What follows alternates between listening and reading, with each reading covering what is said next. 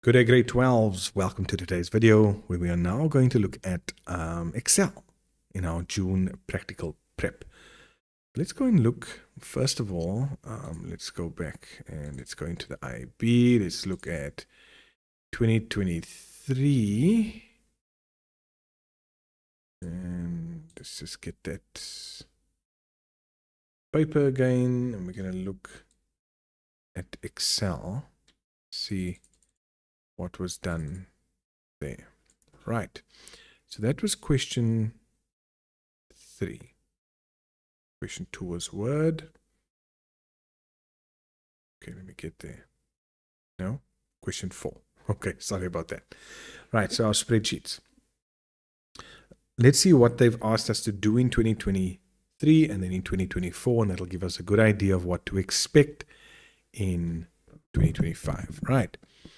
So you can see we have to rename tabs and change the tab color.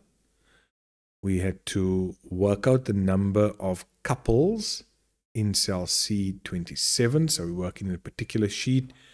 We're formatting a header row as well. And there you can see for six marks, they wanted us to change the direction, display the cells correctly or the text in the cells correctly, use thick borders of full color, so all of those.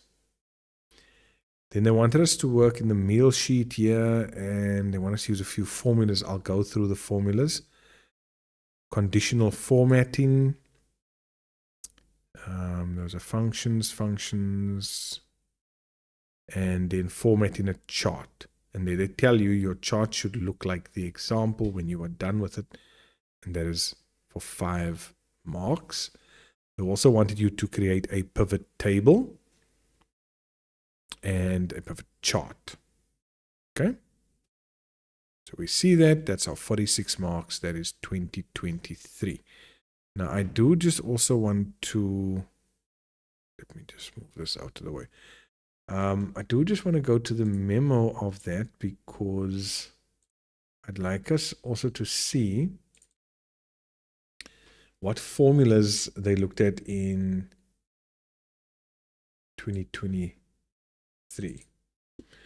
Okay, so let's just have a look here at what they wanted. Question four. Here we go. So question four, VLOOKUP, count A, VLOOKUP, large and small, an if statement, a nested if as well, count if so those are the ones that came up in 2023. Now, let's go over to 2024 and let's see what they asked us to do in 2024. Let's go all the way down here, probably question three or four again. There we go, question four. And I do also want to just get my marking grid out so that we have that available. Okay.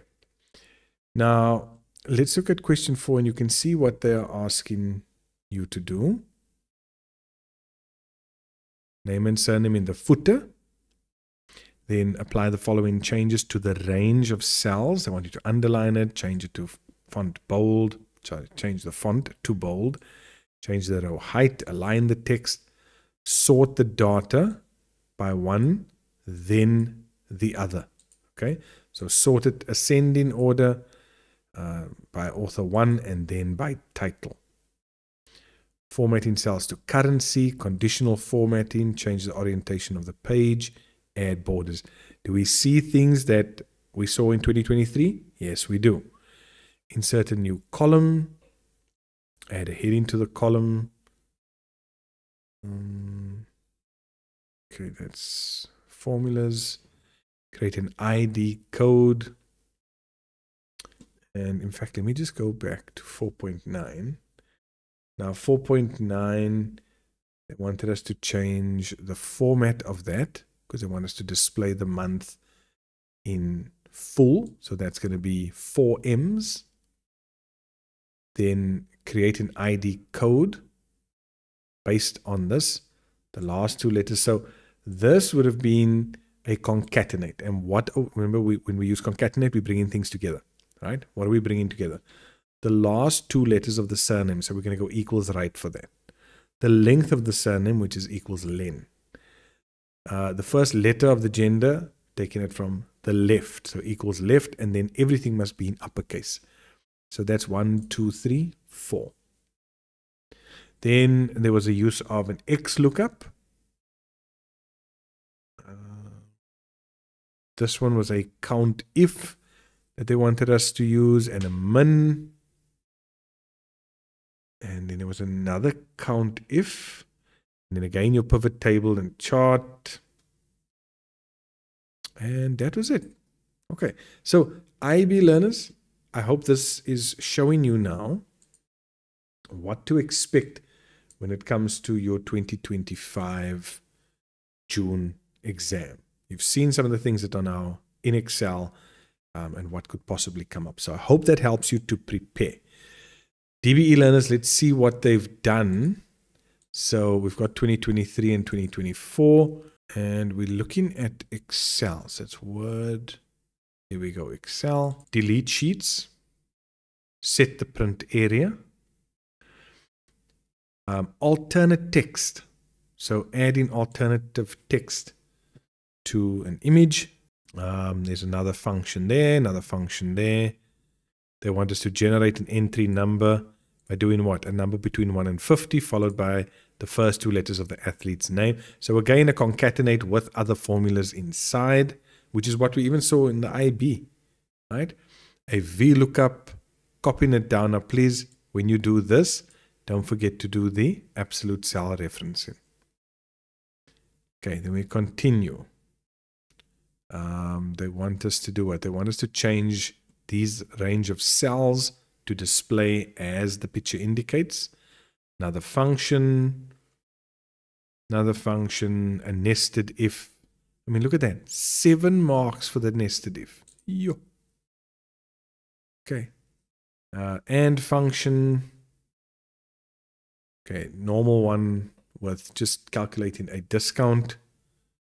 Um, yeah, so quite a few formulas and then a chart as well. So here you can see now this is your bar chart and they're giving you all the relevant info and they're telling you what they want the final result to look like. Okay, so that is what was in Excel for 2024.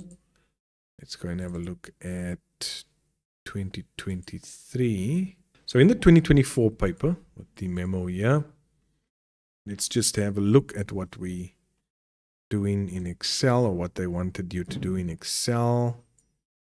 So here we go. Um, changing the tab color, page setup, some ifs, conditional formatting, some more functions. I'll get to that now. Let's see what functions they wanted there. Just see. Okay, so it was some ifs that you needed to know how to do. Conditional formatting, um, your sum. Let's see what other functions. Count if, mode, concatenate. There's the concatenate. Round up um, if and day. So those are all the different functions they wanted in there. And then a chart as well, modifying that chart for four marks. And yeah, that was really it um, in terms of what they wanted from you for Excel. Oh, oh, let's let's go further. Let's go further. Sorry. Then they wanted you to move a worksheet, more functions. I think I did yeah, I did look at that. And some data validation there as well. Okay. And that's it, grade 12s. I mean, that's what the DBE learners have seen in the last two years. It's what the IEB learners have seen in the last two years. And that should give you a good idea of the what to expect in terms of what we've seen now and the trends that we've seen for your 2025 June track. If you've got any questions on Excel, please leave those in the comments of this video so that I can respond to them. All the best, and I'll see you in our last one where we're looking at database.